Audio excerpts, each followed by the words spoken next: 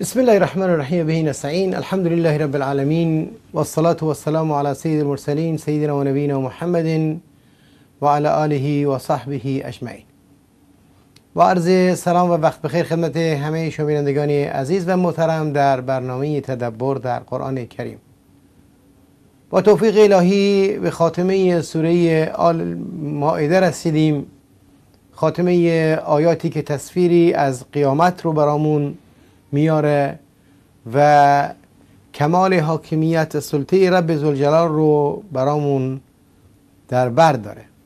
کمال سلطه و حاکمیتی که اوج عدالت و عدم دخالت هیچ احدی رو در این میان بیان می‌کنه.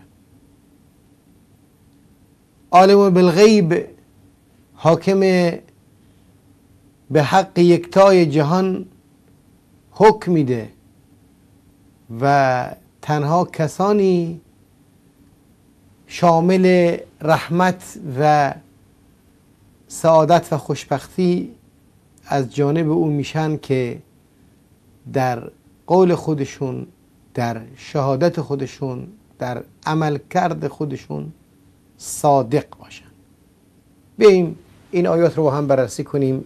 و این خاتمه و مجموع آیاتی که در واقع انتهای سوره مائده رو در برداره رو با هم نگاهی بندازیم. آیه 116 سوره مائده هست که الله متعال یک صحنه دیگری از صحنه های قیامت رو که با یکی از انبیای الهی حضرت عیسی علیه السلام ترسیم میشه رو برامون آورده قرآن کریم و میگه که و اذ قال الله یا عیسی ابن مریم. اونگاه که الله متعال عیسی ابن مریم رو مخاطب قرار میده. عیسی ابن مریم این تأکید قرآنی هست تا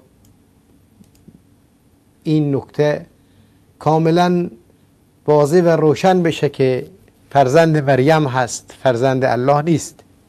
عیسی ابن مریم هست. اون روز بهش گفته میشه که انت قلت للناس اتخذونی و امی الهین من دون الله. آیا تو گفتی به مردم که منو و مادرم رو به عنوان دو اله به غیر از الله اتخاذ کنید الهین؟ اینجا بحث خالق نیست. بحث اله هست. یعنی به آیا تو گفتی که به من و مادرم مقام الوهیت بدید و ما رو در اندیشه و باور خودتون فرابشر بدونید یا پرتوی از پرتوهای الهی تصور بکنید؟ توجیهاتی هست که در واقع مسیحی ها میگن مسیحیت هم در واقع مذاهب و فرقه های عدیدی داره که هر فرقه وصف خاصی رو یا تفسیر خاصی رو در ارتباط با الوهیت حضرت عیسی بیان می‌کنه. یا تسلیس رو به گونه ای تفسیر می‌کنه. قال سبحانک. حضرت عیسی در اون روز میگه که سبحانک پاک هستی منزه هستی از این چنین وصفی از این چنین عمل کردی که در قبال تو انجام بشه. ما یکون لی ان اقول ما لیس بی حق برای من شایسته نیست. اصلا برای من ممکن نیست که چیزی رو بگم که من شایسته اون نیستم.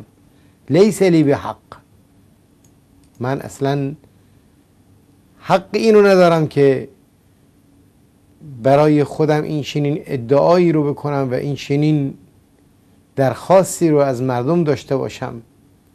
این کنت قلته فقط علمته. اگر این رو من گفته باشن که تو واقعا این رو می‌دونی. تو اطلاع داری. تو که از تو چیزی غائب نیست که. این استفهام در واقع استفهام انکاری هست. استفهامی که انت قلت للناس استفهام برای طلبی نیست که بخواد جواب بگیره. الله متعال الله متعال عالم الغیب هست. این کنت قلته فقط علمته. اگر واقعا من گفته بودم که تو خودت می‌دونستی این رو. تعلم ما فی نفسی ولا اعلم ما فی نفسک. تو اون که در درون من در نفس من وجود داره رو می‌دونی و من اون که در در نفس تو وجود داره در ذات تو وجود داره رو نمی‌دونم. انک انت علام الغیوب. علام الغیوب تو هستی. من علم غیب ندارم. پوشیده رو تو می‌دونی. هر نهانی رو تو آگاه هستی. علم غیب مخصوص تو هست. برخلاف اون چیزی که مشرکین معتقد هستند. ما قلت لهم الا ما امرتنی بهی من در واقع اونا چیزی نگفتم. مگر این چیزی که تو من رو معمور کردی بهش. الا ما امرتنی بهی به چه چیزی تو من رو معمور کردی؟ معمور کردی به اینکه ان اعبد الله ربی و ربکم. من در واقع اونو گفتم که به منو معمور کرده بودی به امر عبودیت که من به اونها اینو گفتم. قلت لهم اعبد الله. این در واقع ان تفسیری برای قول هست. اگرچه لفظ قول اومده بحث مفصلی در از نظر نحوی هست در اینجا. گفتم که به اونها که عبادت اللهی بکنید که رب من هم هست و رب شما هم هست. ربی و ربکم.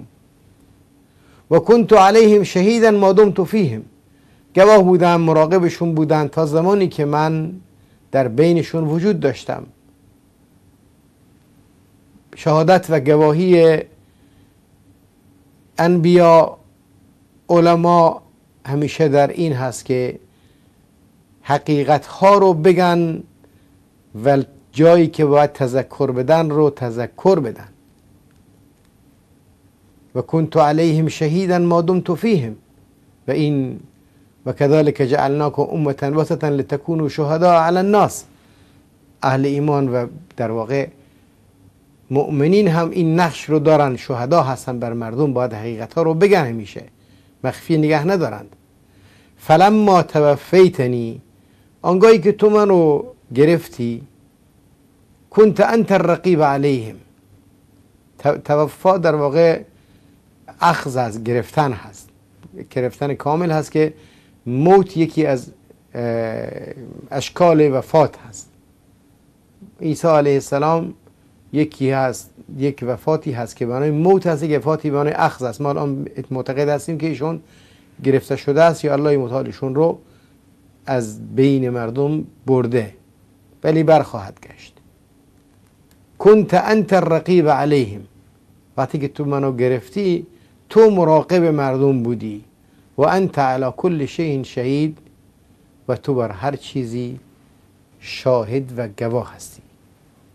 این تعذبهم اگر اونها رو عذاب بدی فانهم عبادک. عبادت بنده تو هستن.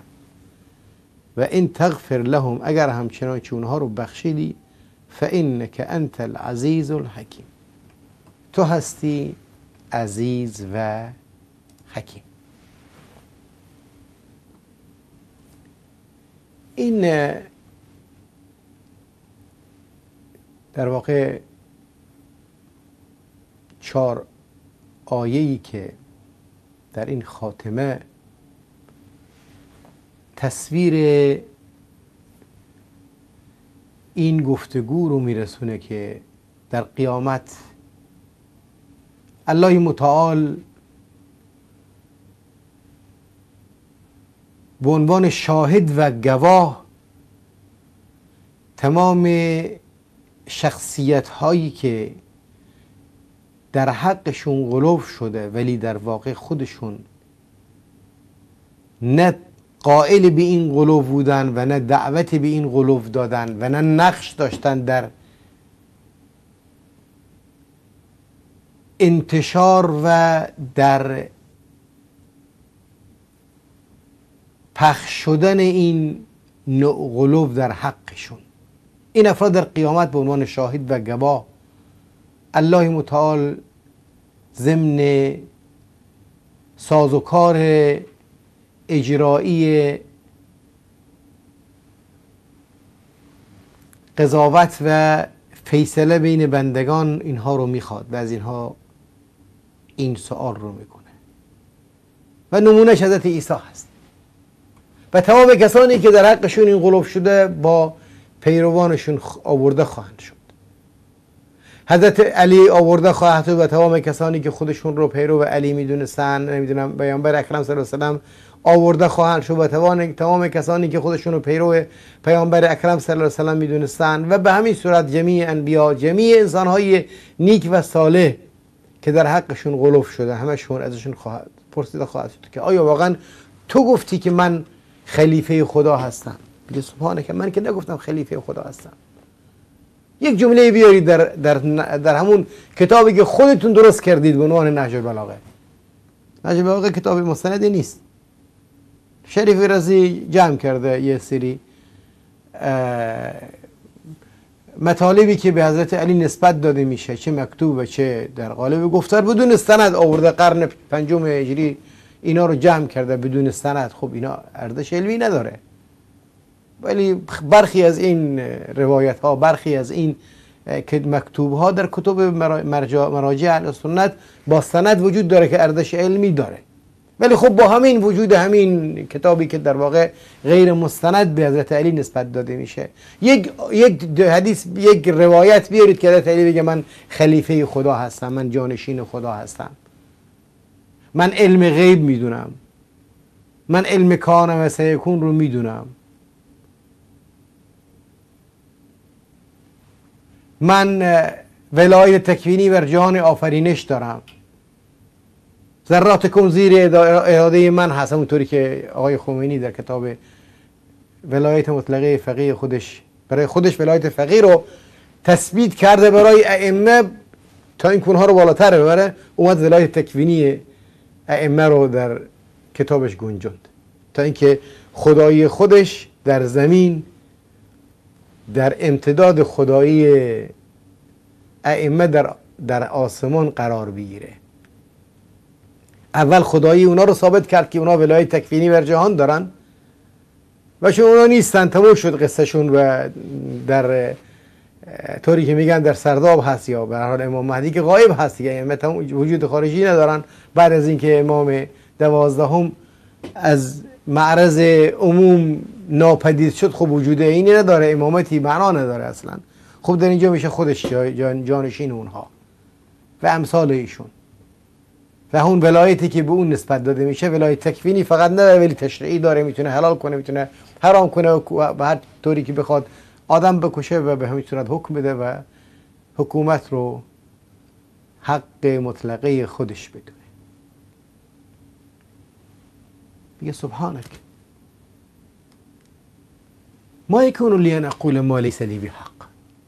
و این گفتار گفتار حضرت عیسی فقط نخواهد بود. همه کسانی که در حقشون غلوب شده اینو خواهند گفت. من اصلا شایسته نیست این رو بگم. چطوری من چیزی رو بگم که برای من حق من نیست که در اونجا اصلا پا بذارم؟ با ادب کامل حضرت عیسی با الله متعال خطاب قرار میده میگه این کنتو قلته فقط علمته تعلم ما فی نفسی ولا اعلم ما فی نفسك انك انت علام الغیوب. منتهای ادب سخن هست با رب العالمین. ما قلت لهم الا ما امرتنی به ان اعبد الله ربی و ربکم در این جمله ما قلت لهم الا ما امرتنی به. ان ان تفسیری هست از نظر نحوی. این ان بهش میگن ان تفسیری. و شرطش اینه که باید فعل قل نباشه. یعنی از کلمه ای باشه که معنای قول رو داشته باشه ولی لفظ قول نباشه. در زبان عربی اینطوری هست.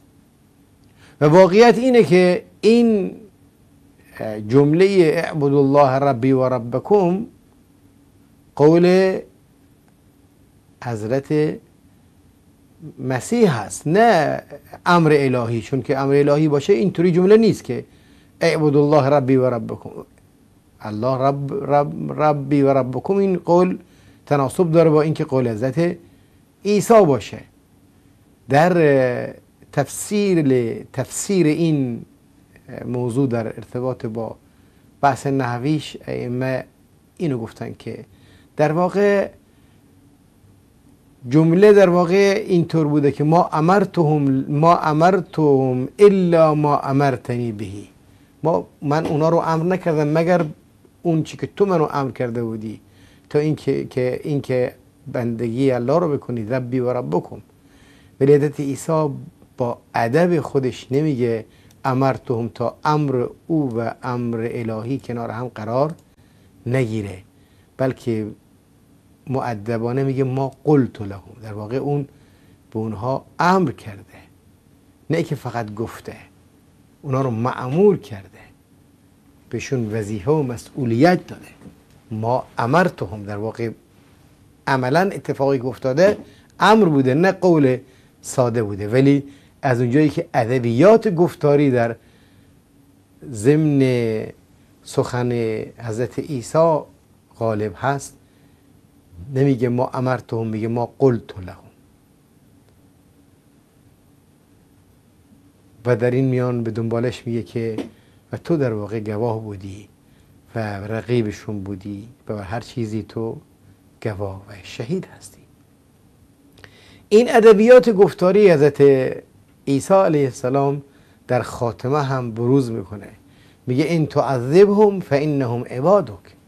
اگر اونها رو عذاب بدی بنده تو هستن. از تو هستن. حقشون رو داری. در اختیار تو هستن. و این تغفر لهم فانک انت العزیز الحکیم. اگر هم بخشیدی اونها رو عزیز و حکیم هستی.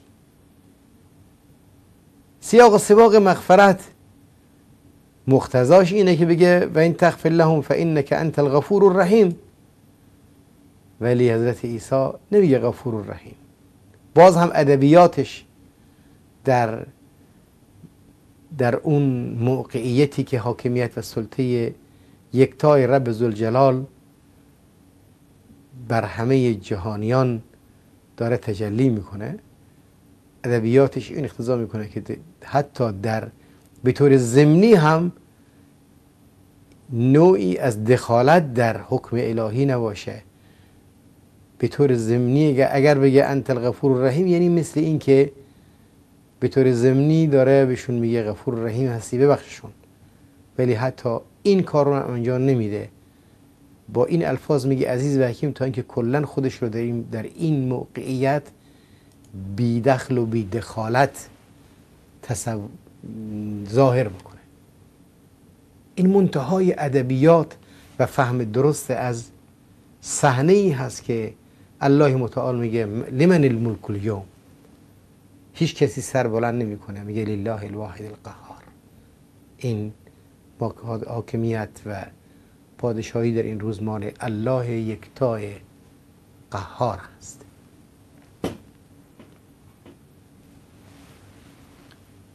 این خاتمه الهی بر این که ادبیات بسیار بسیار اعلا و والای گفتاری رو در محضر پروردگار متعال ضمن سخنان حضرت عیسی ما مشاهده می‌کنیم در واقع یکی از بزرگترین انحرافاتی که در اهل غلو وجود داره هم در اینجا معالجه میشه. بحث شفاعت. شفاعتی که متاسفانه مثل سهم امام هر کسی رو بخواد با اندک ارتباطی که باش داشته باشه وساطت می‌کنه و تمام اون چی که انجام داده همه رو روش خط می‌کشه. و یک نوع دخالت هست. در اینجا حتی در به طور ضمنی هم نمی‌خواد احساس بشه که نوعی دخالت یا نوعی تدخل در حکم الهی وجود داره. نمیگه انت غفور الرحیم میگه انت العزیز الحکیم. تا اینکه کمال حاکمیت و سلطه اجرایی پروردگار متعال تعبیر بشه. وای بر اون کسانی که فکر می‌کنن که در اون روز هم با اونایی که اونا رو خدا گرفتن خواهند تونست دستشون رو بگیرن و راحت از نظام عدل الهی خودشون رو از بار بی حد و حساب گناهان خودشون و جنایت های خودشون خلاص الان همین تصور هست. فکر می‌کنن که اینقدر خون و خون ریزی میشه اینقدر قتل و قارت میشه اینقدر کشتار میشه. اینقدر میلیارد میلیارد میلیارد اختلاس میشه از اموال ملی مردم. همه اینها چون مقرب هستند چون جزو پیروان اهل بیت هستند چون شفاعت اونها رو در قیامت خواهند داشت. نه تعذیب زندان ها نه اعدام بی حساب و کتاب فلهی و خون ریختن بیگناهان و اطفال و کور کردنشون و بعد هزاران جنایت هیچ کدوم از اینا مثل که تأثیری نداره. در اون روز چون اینها مهر ولایت به پیشانیشون خورده هست بدون حساب داخل جنت میرن.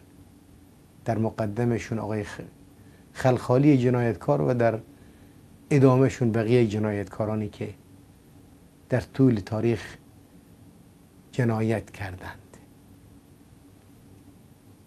در ادامه الله متعال میگه قال الله. الله متعال جواب در این صحنه بعد از این شهادت و گواهی که از حضرت عیسی گرفته میشه میگه که هذا یوم این روز هست. این همون روزی هست که ینفع الصادقین صدق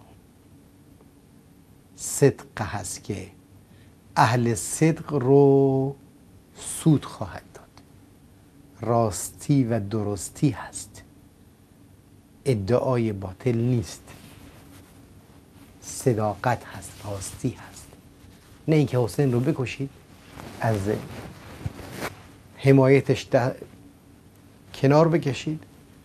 بعد بیایید سوکواری کنید براش و قرنهای قرن سینزنی و سوکواری رو رواج بدید و خودتون رو خونخواه و حامی و محب اهل بیت تعریف کنید. صداقت و راستی و درستی همه در اون روز بهشون منفعت خواهد رسوند. ادعا کردن می‌خواد ادعای دین باشه ادعای دیانت و صداقت باشه ادعای هر چیزی باشه فقط عملا اون چه که نفی رسونه صدق صادقین هست.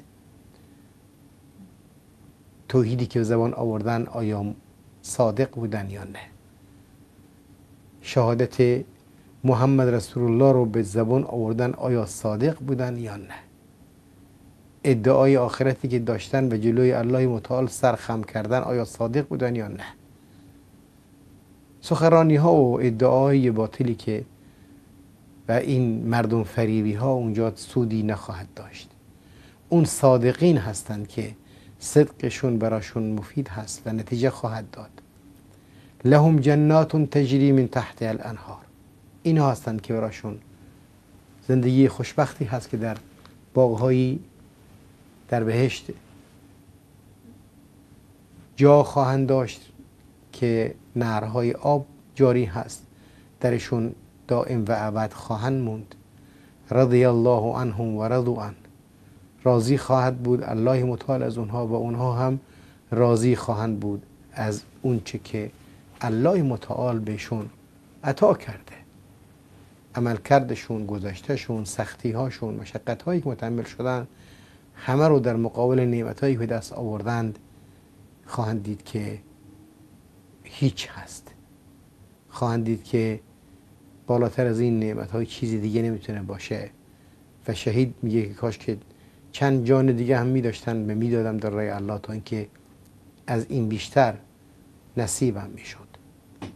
ذالک الفوز العظیم. این هست رستگاری و خوشبختی عظیمی که باید پیگیرش باشیم. لله ملک السماوات والارض وما فيهن وهو على كل شيء قدیر. ملک و پادشاهی و حاکمیت آسمان ها و زمین از آن الله هست اون که در داخل زمین و آسمان هست و اون که خود آسمان و زمین هست و اقتدار همه اینها در اقتدار الله متعال هست زیر حاکمیت و سلطه او هست.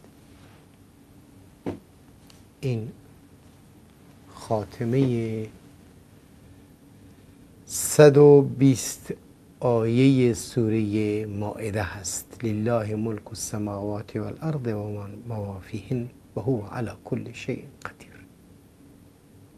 حاکمیت مال الله هست. سلطه مال الله هست. اقتدار از آن او هست. تمام احکام و تمام وظایف مسئولیت هایی که بهتون محول شد از این حاکمیت اعلا نشأت گرفته است. از ابتدا که گفت یا ایها الذین آمنوا اوفوا بالعقود. تا انتهایی که بهتون توصیه کرد که تقوا پیشه کنید پایبند بمونید. اموالتون رو به باطل نخورید. اموال همدیگر رو به باطل نخورید. همه اینها نشد گرفته از اون حاکمیتی هست که جهان آفرینش در اختیارش هست. مالکش هست و بر همه چیز اقتدار داره. و در امتداد این اقتدار و حاکمیت رب زلجلال حاکم اعلای مطلق این جهان. او هست که حکم خواهد داد.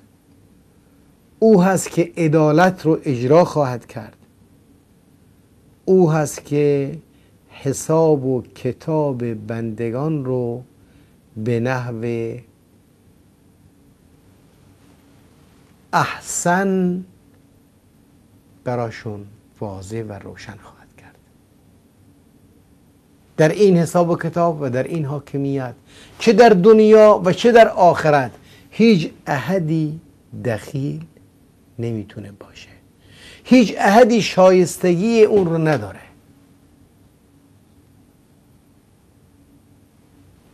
مقربترین انسانی که حتی از نظر خلقت مستثنا خلق میشه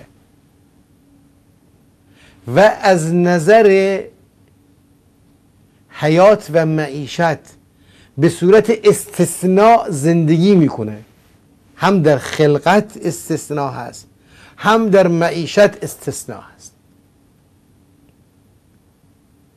مادرش مریم بدون ازدواج و بدون شوهر اون رو به دنیا میاره. و الله متعال به شایستگی معیشی رو میده که یکلم الناس فی المهد و کهلا. از کودکی سخن میگه و سخن بر مبنای حق و حقیقت میگه. توحید رو ابلاغ می‌کنه. مبلغ رسالت هست. انی عبدالله آتانی الکتاب و جعلنی نبیا. از کودکی داره اینو اعلان می‌کنه.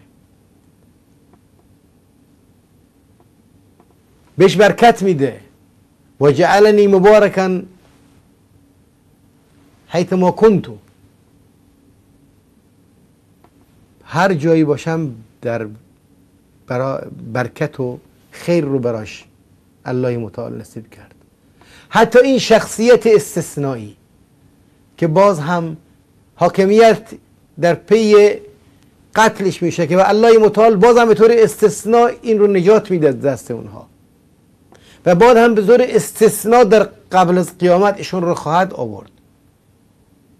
شخصیت خوب شخصیتی نیست که جای شبهی داشته شخصیتی نیست که مثل بقیه انسان ها حالا داستانایی می‌سازن که نمی‌دونه حضرت علی داخل کعبه متولد شد دیوار کعبه کافته شده. این داستانای چرت پرتی که خودشون هم می‌دونن که اساسی نداره. ولی در رابطه حضرت عیسی حقیقت و واقعیت های عینی هست که اجماع اهل ادیان بر اون هست یا اختلاف روش نیست. حتی این شخصیت با این مقام با این منزلت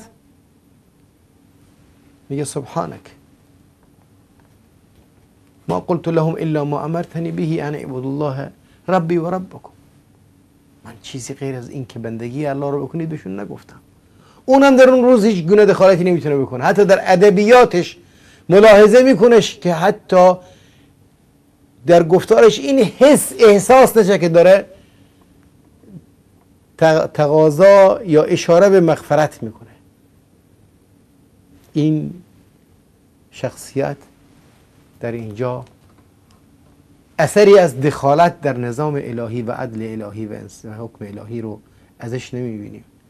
خب چه رسه به کسی که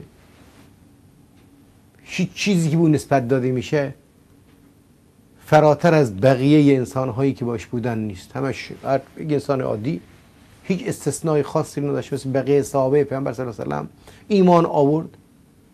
کنار پیامبر بود. حمایت پیامبر صلی الله علیه و کرد. از پیامبر دین آموخت و قرابت خیشاوندی یا پیامبر صلی الله علیه و داشت. و زندگیش هم بعد از پیامبر مثل بقیه صحابه گذروند و مثل بقیه صحابه ادعای فراتر از اون چی که داشت رو هم نکرد.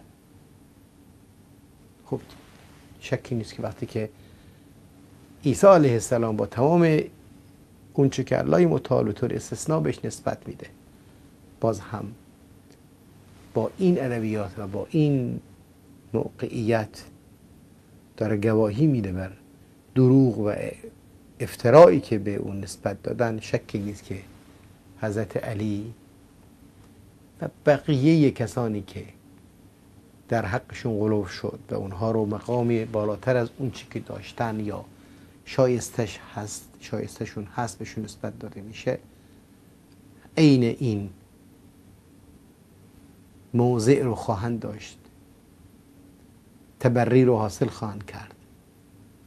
اعلان براعت خواهند کرد از غلو غلات و هیچ سودی هم نخواهد تونست بهشون برسونه به این غلاتی که فکر می‌کنن در سایه غلو خودشون خواهند تونست گناهان و جنایات خودشون رو پنهان کنند یا جبران کنند.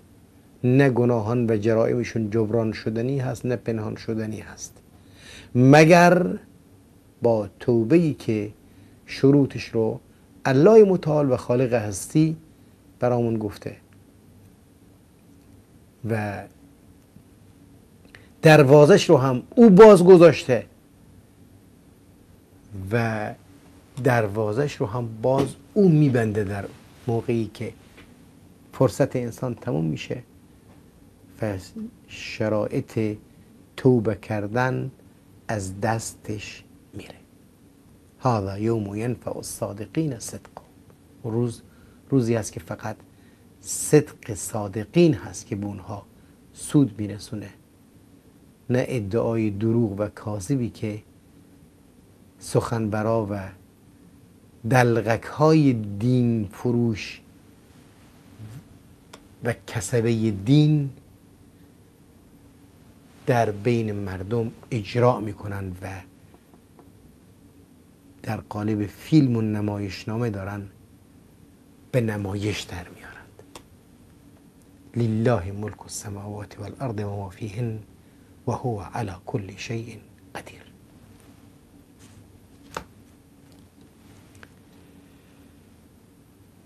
سوالاتی که شده رو ببینیم.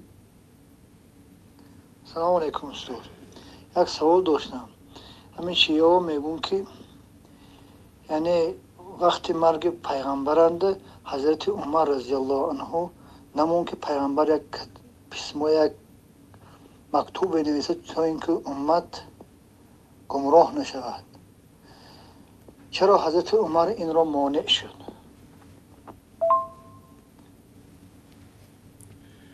بله داستان نسبت داده شده به سیرت که پیامبر اکرم صلی الله علیه و سلم قبل از وفات و در ایامی که در بستر بیماری بودند که پیامبر صلی الله علیه و در واقع روز پنجشنبه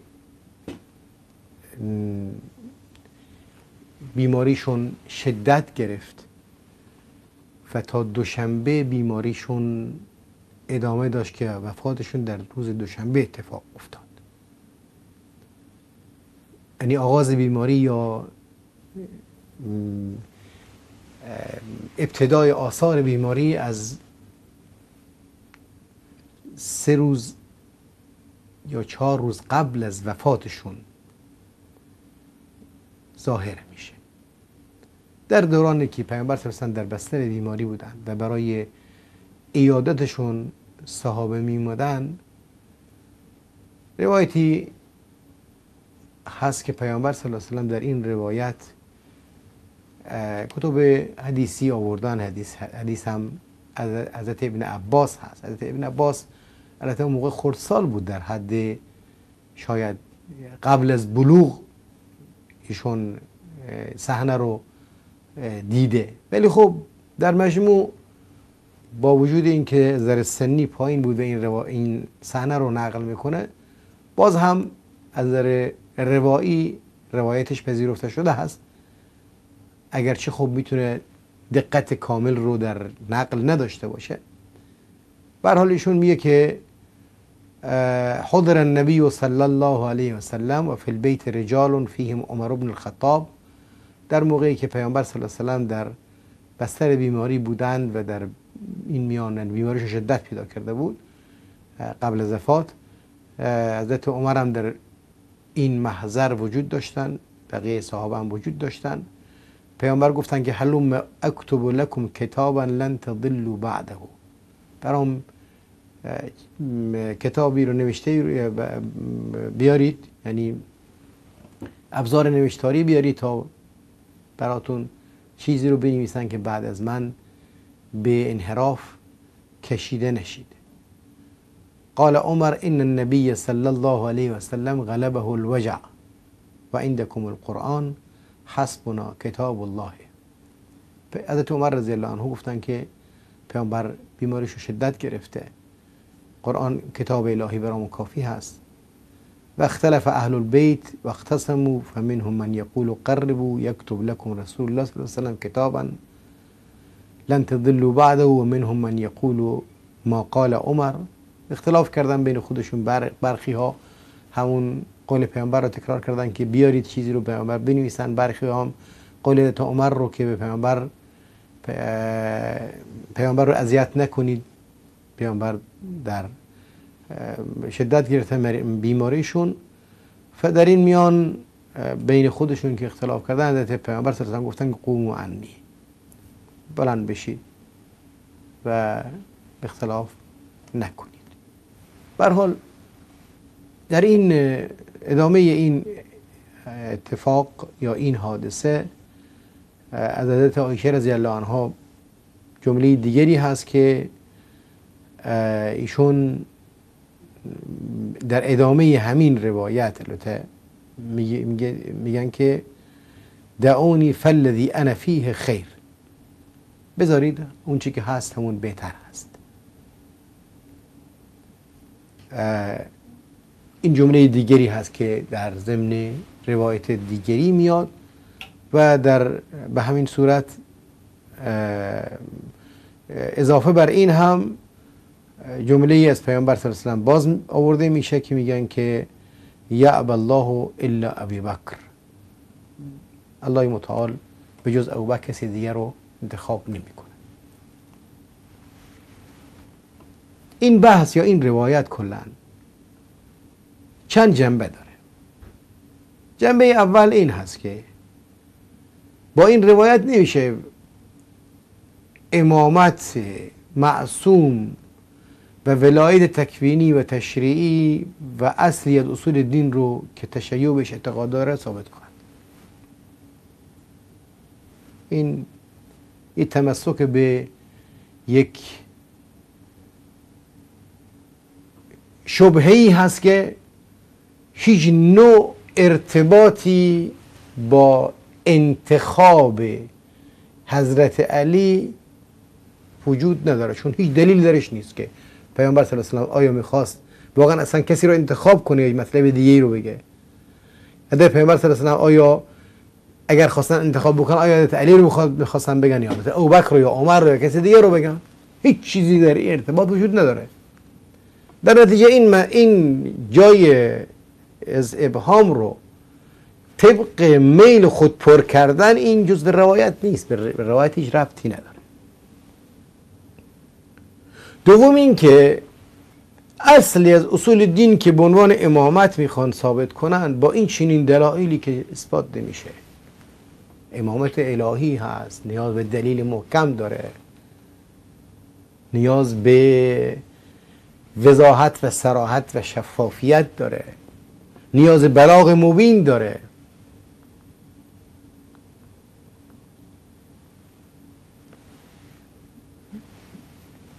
تنها چیزی که میشه ازش به عنوان شبه استفاده کرد اینه که کاری رو صحابه انجام دادن که حضرت عمر داره در واقع تنها نبود تعدادی باشون هم رأی بودن که این رأی این کارشون چه تناسبی داشت و چرا این کارو کردن.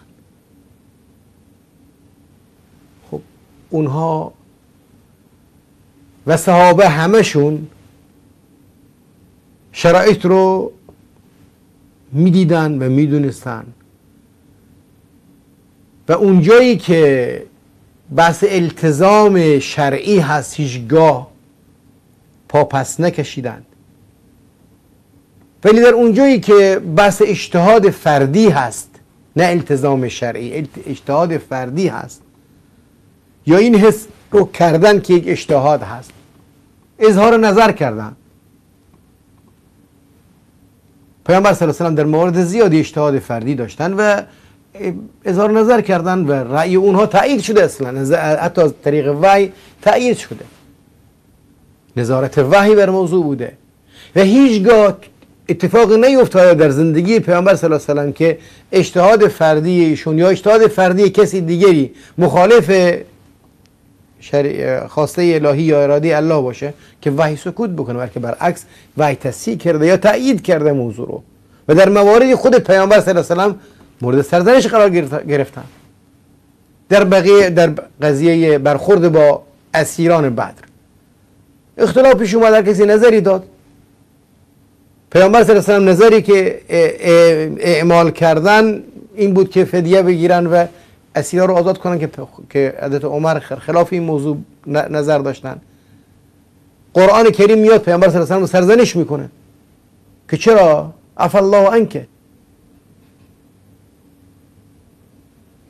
الله متعال سرزنش می‌کنه پیامبر رو میگه که چرا تو؟ ما کان النبی ان یکون له اسرا. شایسته نیست که تو اسیر رو نگه میداشتی. تا اینکه این موضوع براشون محرز می‌شد که بحث اسارت بحث رسیدن به غنیمت نیست که ما, که شما در پین باشه که فدیه بگیرید و اسیر رو بگیرید پس می‌دید و نمونه زیادی هست که پیامبر صلی الله علیه و نظری رو دادن و برعکس صحابه پرسیدن از نظرشون. غزوه خندق و پیامبر صلی گفتن نظر من وحی نیست نظر, نظر شخصی من هست. صحابه نظر دادن و نظر اونها اعمال شد. اینجا هم در واقع جو مستبدی که در تربیت نبوی وجود داشت وجود نداشت. اینجا هم اتفاقی افتاد و اون اتفاق هیچ نوع دخالت وحی صورت نگرفت و پیامبر صلی الله علیه و در این باب اصرار بر رأی خودشون نکردن. در صورتی اگر موضوع وحی الهی می بود اصرار می‌کردن در قز... در صلح حدیبیه. همیشه اتفاقی افتاد. در صلح حدیبیه براشون سنگین بود این صلحنامه که نوشته شده بود. پیامبر صلی الله علیه و وقتی که دیدن کسی حاضر نیست در مقابل این صلحنامه تسلیم بشه ام المؤمنین بهشون گفتن شما برو قربانی خودتو ذبح کن. بقیه هم ناچار اطاعت خواهند کرد که این کارو کردن همه اطاعت کردن و داستان تموم شد. در نتیجه بحث اطاعت صحابه از پیامبر صلی الله علیه یک بحثی بود که عملا در طول 23 سال خوب نشون دادن. نیاز نیست که ما بیایم بعد از 15 قرن 14 قرن از داخل این روایت بیاریم بیرون که ایده مخالفت کردن. این بحث تئوری موضوع هست. اما برمیگردیم به بحث عملی یا بحث شرعی این موضوع. بحث شرعی این موضوع این هست که پیامبر اکرم صلی الله علیه وسلم مکلف بودن که بلغ ما انزل الیک و این لم تفعل بها بلغت رسالته. اگر این حکم شرعی می بود به حکم بلاغ ابلاغ الهی می بود اگر پیامبر صلی الله علیه وسلم این ابلاغ را انجام نمی‌دادن رسالتشون تکمیل نبود. در نتیجه این هیچ گونه ارتباطی با اصل دین و یا با ارتباطی با دعوت پیامبر یا ابلاغ رسالت پیامبر صلی الله علیه وسلم نداشت که پیامبر اصرار بکنن یا اینکه بگن ما الا بالله اینکه این موضوع رو مکتوب کنید.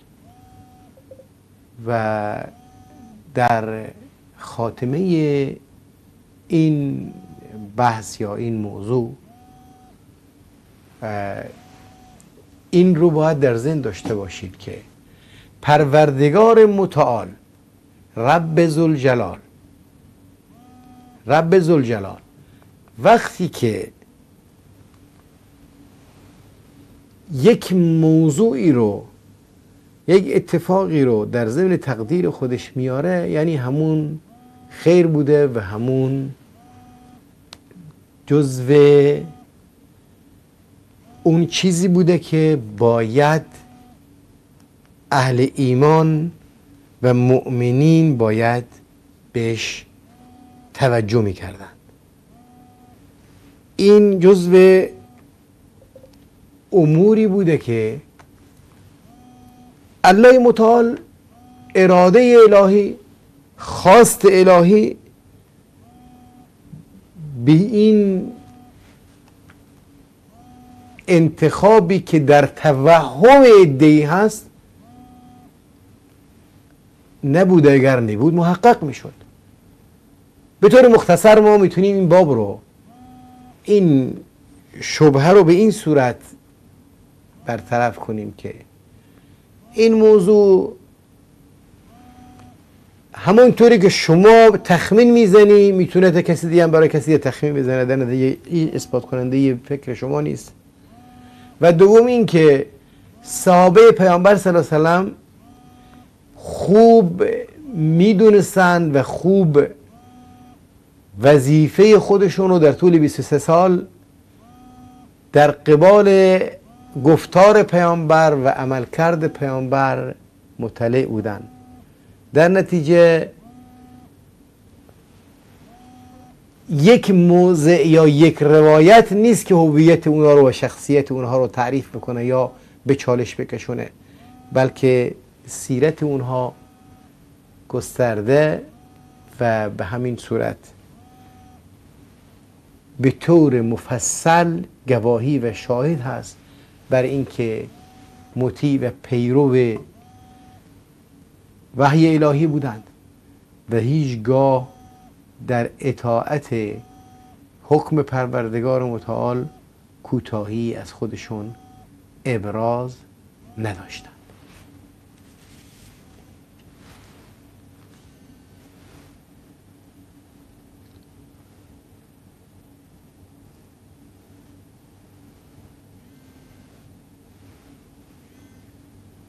دوستانی که سعی می‌کنن تماس بگیرن قبلا هم گفتیم که متاسفانه با توجه به اینکه تماس صوتی برامون امکان پذیر نیست سعی کنن که سوالات خودشون رو بذارن صوتی یا, یا متن تا جوابشون بدیم. سالی که دوستان پرسیدن که در غسل جنابت همیشه پیش از غسل وضو می‌گیرم. بعضی ها گفتن که هیچ وضوع نداره وضوع نگیر. غسل جنابت وضوع سنت هست.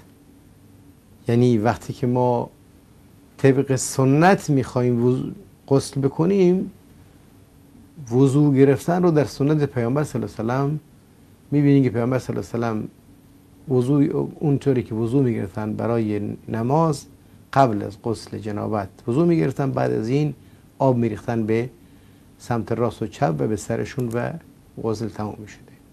اما اگر فرزن شما وضو نگیرید و باز هم بدون وضو یعنی بدنتون رو کلا بشورید غسل صورت می‌گیره و نیازی به وضو نیست. در نتیجه شرط صحت غسل این نیست که شما حتما باید وضوع بگیرید.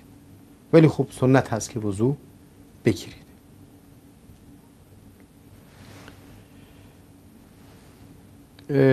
دوستی پرسیدن که قرآن کریم الله متعال در قرآن کریم میفرماید که اعبدوا الله ولا تشرکوا به شیئا و بالوالدین احسانا.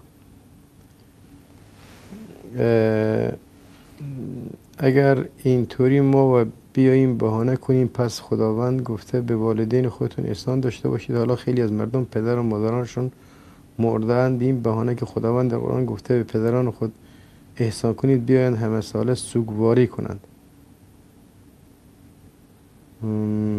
این آخوندان دنبال تربیه شرک و خرافات هستند تا مردم رو از دیکتاپرسی منصرف کنند. شکی نیست که بحث احسان والدین عبادت والدین نیست. والدین مقامی دارند الله متعال مقامی داره. مقام الله متعال مقتضاش عبادت هست و مقام والدین احسان به نیکی هست. در مقابل عبادت الهی وقتی که والدین قرار می‌گیرن اطاعتشون نه تنها جایز نیست بلکه برعکس مخالفتشون واجب هست. هیچ احدی نمی‌تونه انسان رو به مخالفت با عبادت پروردگار متعال یا در راستای مخالفت شریعت او انسان رو وادار بکنه. در هر موقعیتی هم که باشه. به خاطر این احسان در اخلاق و رفتار یک وظیفه شرعی هست که در تعارض با عبادت الهی نه تنها قرار نمی‌گیره بلکه خودش مقتضای عبادت الله متعال هست. چون الله متعال به ما رو معمول کرده که بهشون نیکی کنیم. و این نیکی به این معنا هست که وقتی که در مخالفت شریعت چیزی رو میگن امر رو می‌کنن. شما با نیکویی جوابشون رو می‌دید با نیکویی امرشون رو مخالفت می‌کنید. با نیکویی جلوشون توضیح می‌دید و برخلاف اون چه که میگن رو انجام می‌دید برخواش نمی‌کنید و اخلاقتون رو با اونها در بر داره. اما اینکه بعد از اینکه وفات کردن بیایید مثلا سر قبرشون سوکواری کنید خب شکی نیست که این هیچ نوع احسانی بینا تلقی نمیشه چون اونها زنده نیستن و این سوگواری شما هم براشون هیچ نوع نه تنها سودی نداره بلکه برعکس پیامبر اکرم صلی الله علیه میگن که میت معذب میشه با عمل کرد و با نوح سرایی که اهلش انجام میدند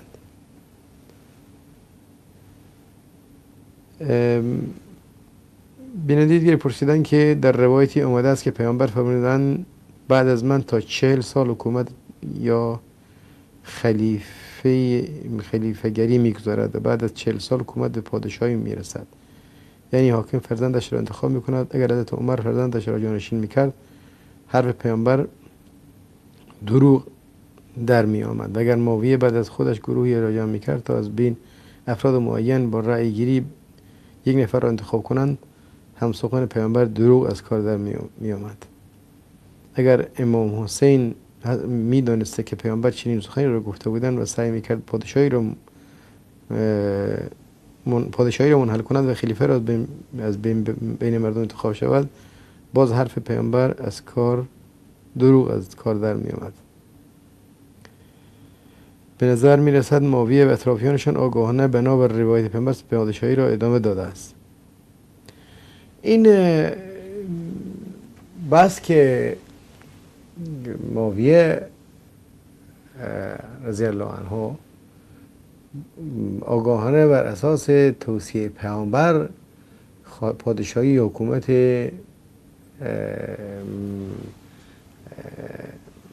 تسلسلی وراسی رو ترویج داد. این ضعیف هست و درست نیست. به خاطر اینکه ایشون بر این حدیث استدلال نکرده پیامبر صلی الله علیه و هم به عنوان توصیه یا به عنوان وظیفه این موضوع رو ابلاغ نکرده بلکه به عنوان پیشگویی این رو گفتند و پیشگویی هم در واقع برمیگرده به علمی که الله متعال از غیب براشون بهشون اطلاع داد یا بر حال وحی که بهشون صورت گرفته بود. و اتفاقاتی که بعدا سر گرفت و بر اساس این اتفاقات همون سی سالی که پیامبر صلی الله علیه و پیش بینی می‌کردن با شش ماهی که حضرت حسن رضی الله عنه حکومت داشتند تکمیل میشه. خب این دلیلی بر صحت یا دلیلی بر منبع غیب داشتن گفتار پیامبر صلی الله علیه و هست. اما حضرت ماویه اون کاری کرد در واقع یک نوع اجتهادی بود که با توجه به اینکه کبار صحابه وفات کرده بودن فرزندان صحابه هم در بینشون شاید فردی رو که بتونه همه جامعه رو یک پارچه نگه بداره و انظر سیاسی مدیریت درستی داشته باشه رو نمی‌دید. بر حال این اجتهاد بود. پسرش رو انتخاب کرد. بر حال ما در این اجتهاد تاییدش نمی کنیم شرعا به خاطر اینکه شرعا سنت پیامبر صلی الله علیه و خلفای راشدین نبود ولی در عین حال براش دعای مغفرت می‌کنیم و به همین صورت برای تمام کسانی که در این میان در این درگیری ها اگر کشته شدن هم باز هم دعای مغفرت می‌کنیم که الله متعال همه اونها رو مغفرت بکنه و ما رو هم از اختلاف و درگیری دور نگه بداره تا برنامه دیگه الله یار و نگهدارتون باد. السلام علیکم و رحمت الله و برکاته.